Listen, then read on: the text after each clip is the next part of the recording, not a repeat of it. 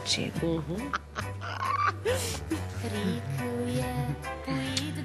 A misliš? On ni igralec.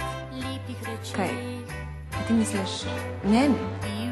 Ne, ne, ne, ne. Same lahke sestavine. Spomniš, kako smo bile srečne?